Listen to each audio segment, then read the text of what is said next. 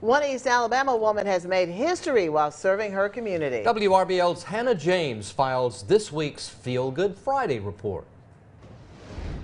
Mother, teacher, EMT, shipping floater, group leader, daddy's girl, and chief are just a few words to describe Angie Hartgrove. The East Alabama native has grown up to serve her community as Pittsview Volunteer Fire Department's first female fire chief, a position she says her community has celebrated alongside her.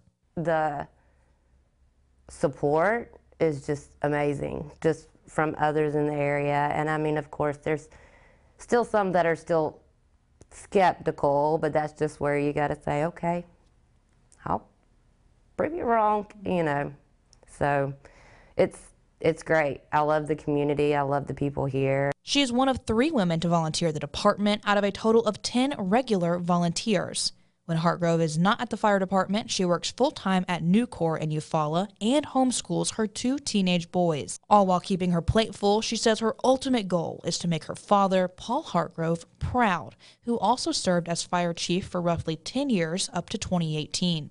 My dad was on the fire department, and it was just, I was always curious. Every time the tones dropped or however, I would just be like, Where are you going? What kind of call is it? And so forth it was just whatever he was doing, I had to be there. As the first female fire chief and minority of her staff, she has one mantra she would like to share with other women looking to be a first responder. Don't let anybody tell you you can't.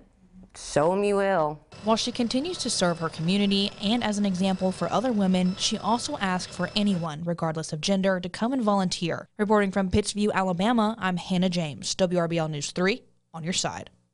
Hartgrove would also like to invite the community to come out to get to know their staff at the upcoming Trunk or Treat that's happening October 29th. The Trunk or Treat is from 4 to 6 and will be followed by a showing of Casper when the sun sets.